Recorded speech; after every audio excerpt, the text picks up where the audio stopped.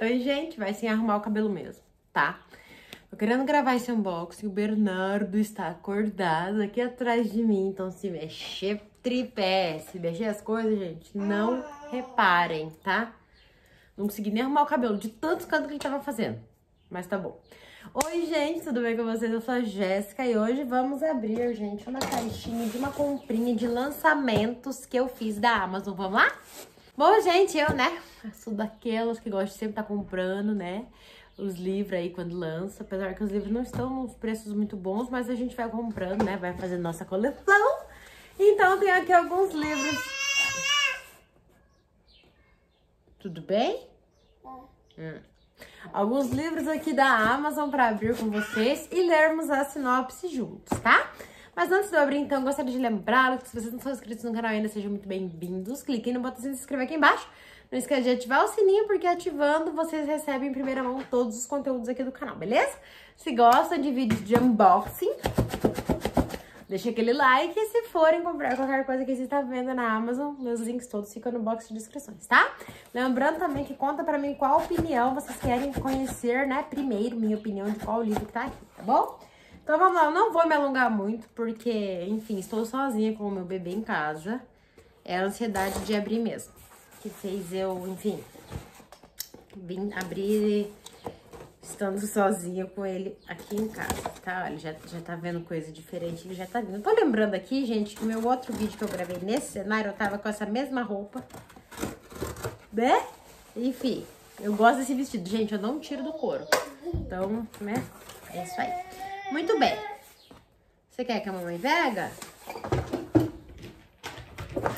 Muito bem, vamos lá rapidão, tá?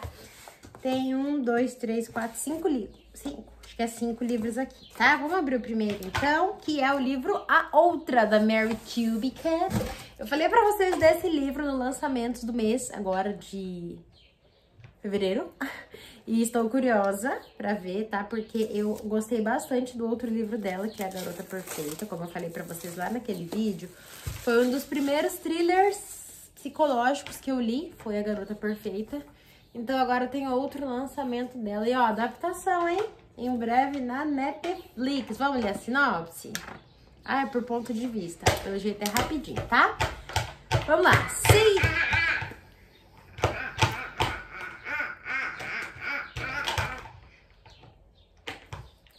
Sage Will Faust decidem escapar do caos de Chicago e se mudar com a família para uma ilha tranquila isolada. Sempre dá problema, né, gente? Na costa do Maine. Tudo bem? O que, que você quer me entregar aqui? Esse? É? Você quer me dar? Você quer vir no colo? Hum, já entendi. Vamos ver se eu vou conseguir fazer isso, gente. Espera, vem. Uh. Olha lá. Olha lá, neném. O cabelo, gente, acordou agora. olha lá, tudo bem? Vamos lá, então. Vamos ler pra eles, filho. Muito bem. É, então, eles vão, né, pra tranquila ilha, tranquila e isolada ilha na costa do Maine. No entanto, pouco tempo depois da mudança, a paz é arruinada quando a vizinha deles é assassinada. O crime choca a pacata comunidade, mas ninguém fica mais abalado do que Sage. A morte da vizinha, no entanto, não é o único motivo de seu descontrole. As suspeitas recaem sobre a família de recém-chegados e Sage se vê cada vez mais envolvida nos incidentes daquela noite e som... daquela noite sombria e mortal. Sage tem que ser cuidadosa, porque quando, quanto mais descobre sobre a morte da vizinha, mais percebe que tem muito a perder se a verdade vier à tona. Aí a Karen Slaughter falou uma coisa aqui, ó, imprevisível do começo ao fim. Tá? Então tá aqui, primeiro. Já fiquei feliz, não sabia da adaptação, gente. Agora que já estou sabendo, já fico mais feliz, tá? O pro... Ai, bati a mão. O próximo, Táticas do Amor, que eu vi a Paola Alexandra indicando, tá? E fiquei curiosa, da Sarah Adams. Olha que bonitinho, gente. Nossa, super pequenininho, acho que rapidinho de ler, ó, tá? Nossa, a sinopse aqui atrás é enorme. Às vezes, com medo de por tudo a perder, nunca descobrimos o que temos a ganhar. Combinou com o meu vestido, gente. Vamos ver aqui dentro a sinopse, então, tá? Brie Camden está totalmente apaixonada por seu amigo de longa data, a lenda do futebol americano Nathan Donaldson, um homem lindo de morrer.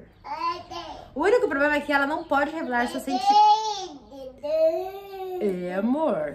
Ele, ela não pode revelar seus sentimentos porque ele claramente a vê apenas como sua melhor amiga, sem nenhum potencial para algo mais. Friends to lovers, então. Ah, e está tudo bem. A última coisa que Brie deseja é arruinar a relação dos dois, mas aquele abdômen, meu Deus do céu. Parou, parou, chega! Para Brie só lhes resta boa e velha amizade, sem tirar qualquer lasquinha do homem mais gostoso que já pisou na terra. De qualquer forma, ela tem outras preocupações em mente. Após um acidente que acabou com suas chances de virar bailarina profissional, Brie decide mudar seus planos e abre um estúdio determinado a transformar a vida de suas alunas através da dança. Tá. Mas como sempre, Nathan aparece para salvar o dia. Filho, não puxa aí, meu amor. Não. Cocô. Cocô. Cocô. Enfim, gente, é muito grande essa sinopse. Que essa aqui tem de pequena, essa tem de grande, tá? Mas é romance... Bernardo, por favor, filho, colabora. Mamãe quer gravar, gente, me ajuda. Vem cá, ó, aqui, ó, olha aqui. Vai lá ver, ó, ó, ó. Pega aqui, pega, pega. Ele gostou do tripé. Acho que já mudou todos os ângulos, né? Enfim, é clichêzinho aí, provavelmente Friends to Lovers, tá? Tá aqui, Bernardo, você vai matar. Esse vídeo vai ficar uma beleza. O próximo, gente, é Dinastia Americana, da Tracy... Tracy Li Livesey, Livesey, Livesey, Livesey, cadê? Gente. Aproveitar que ele distraiu lá. Esse aqui é hot, vai envolver rapper, uns negócios assim, ó. Será que esse romance está destinado a ser um conto de fadas ou um grande desastre? Eu, eu sei que é um rapper. É uma rapper norte-americana, Danielle Duquesa Nelson, está prestes a assinar um contrato milionário que vai levar sua marca de cosméticos a outro nível. No entanto, o incidente com uma estrela pop vira... Ah, tá, ela vai ter que... Não, filho, isso aqui corta, pelo amor de Deus. Então, acho que ela vai ter que fazer um, um fake dating aí, namoro de fachada com o cara pra limpar a reputação dela. Como vocês estão vendo, não, não é que eu não queira, gente, é que eu realmente não estou podendo ler a sinopse, tá? Mas parece também ser é, romance hot aí de fake dating, tá? Então, quando é friends to lovers, enemies to lovers, é sempre nessas coisas que estão na moda. Aí, gente, eu peguei este daqui, que ele é não ficção. É Não Aguento Mais, Não Aguentar Mais. Da Annie Ellen Patterson. Annie Helen Patterson.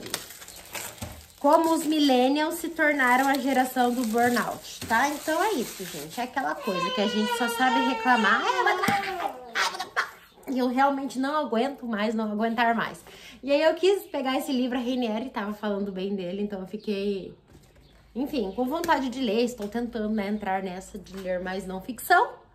Então, peguei esse daqui também, tá? Só um trechinho aqui pra vocês, ó. Você sente que a sua vida é uma lista de tarefas infinitas? Ficar perdido por horas no feed do Instagram porque está cansado demais para ler um livro? Está atolado em dívidas, sente que está o tempo inteiro trabalhando ou tenta transformar qualquer coisa que te traz alegria em algo que gere lucro? Bem-vindo à cultura burnout. Analisando a estrutura social na qual os milênios foram criados e da qual fazem parte, Anne Ellen Patterson desconstrói os mitos que envolvem essa geração e revela como o burnout afeta todos os aspectos da nossa vida. Esse burnout é aquele tipo esgotamento, tá? Basicamente é isso. Então vamos ver, tá? Quem sabe ajuda a gente a dar um up e desligar de algumas coisas que talvez não importem tanto e se atentar a coisas que importem mais, né? E o último, gente, é um thriller que eu também vi algumas pessoas falando bem no Instagram, que é o livro Morre Aqui, da Abigail Haas. Peraí. Será que se alguém vasculhasse a fundo, todos nós não pareceríamos culpados? Gente, só esse biquininho aqui, né? Mas tá bom, é da Valentina. Acho que eu nunca vi um thriller da Valentina. Ah, já vi sim, o Contrapartida, que inclusive eu gostei bastante. Tá tá? Então, morre aqui com um Spring Break. Como um Spring Break numa ilha paradisíaca se transformou num pesadelo de traição, mentiras e morte? Por quê? E o que de fato ocorreu naquela casa? O que aconteceu em Aruba morre em Aruba, literalmente. Gostei, gente! Me lembrou um pouco a última festa. A última festa, né? Morre alguém, junto toda uma galera num lugar afastado, enfim. Tá? Ó, super curtinho, rapidinho também, tô bem curiosa, tá? Vou ler e vou contando pra vocês aqui, tá? Então, esses foram os cinco livretos que chegaram. Acabou! Espero que vocês tenham gostado. Desculpa aí, gente, o, o rolo que deu, né, filho? Tá me olhando com cara de... Cocô? Você fez cocô? Peidou. Acho que tá fazendo cocô. Você tá fazendo cocô? É? Então tá, vamos, mamãe vai trocar o cocô. Hum, ele tá assim. Hum, hum, então é isso, gente, tá? Espero que vocês tenham gostado. Contem pra mim qual vocês querem a minha opinião primeiro. Confesso que fiquei curiosa por... Pera aí, que pareceu um negócio de bateria morre aqui. Acho que foi o que eu fiquei mais curiosa, tá? Mas eu vou lendo aí, a gente vai conversando nos vlogs de leitura, beleza? Beijitos!